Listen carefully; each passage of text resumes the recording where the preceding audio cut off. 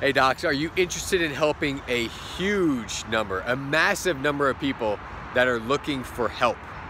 That are the second largest musculoskeletal disorder that there is.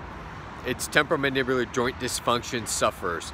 In case you didn't know it, TMJD is the second largest, the second largest musculoskeletal disorder that there is in the United States. And actually I'm finding that it's common across the world as that same thing, that we're, seeing the same number of people that are suffering.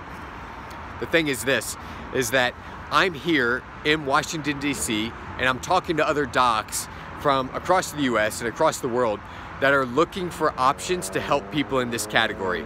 They're looking for people that can help them, that they can help them reach more and more people. The idea is this, is that not only are we gonna help the people that have problems with their jaw, but we're also gonna get more and more people in your practice underneath care, which is gonna allow you to then explode your practice into a category of people that really are looking for answers, that really have not gotten the answers that they want. And so because of that, they're looking to you for help. They just don't know, like they have no idea that you can help them.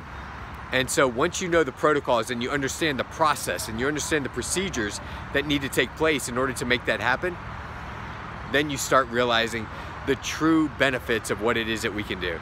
If you're looking for that and you want to expand your practice in that regard, let us know. We would love to help you. Follow the link below and we'll make sure that you get the information that you need. Make sure that you're at the next seminar that we're holding so that you can help this massive number of people that truly do need your help.